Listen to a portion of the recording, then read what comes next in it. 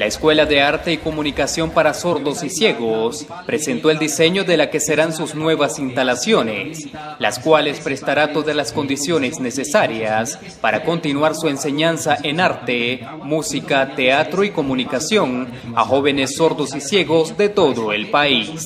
Y este sueño no es posible solo haciéndolo yo, sino también con la participación de los estudiantes, la participación de los padres de familia, la ciudadanía, el gobierno municipal, el gobierno central que también eh, han donado el terreno, que son 1.800 metros cuadrados. Es un edificio accesible. Actualmente la Escuela de Arte y Comunicación cuenta con 50 jóvenes quienes junto a sus padres se muestran contentos con la realización de este proyecto, el cual permitirá continuar desarrollando sus diferentes talentos. Es un logro para cada uno de los chavalos, así como también para los padres de familia. ¿Por qué? Porque estos chavalos y chavalas han salido adelante.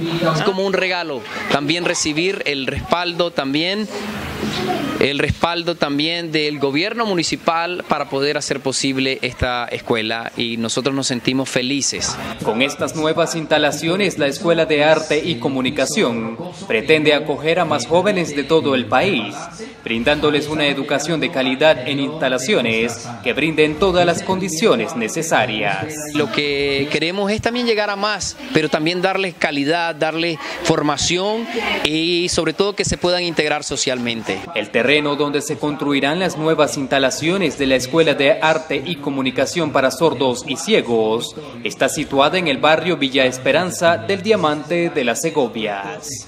Con cámara de Oscar Mesa les informó Bismar Briones. Esa es la área que va a ser accesible solo para nuestros visitantes.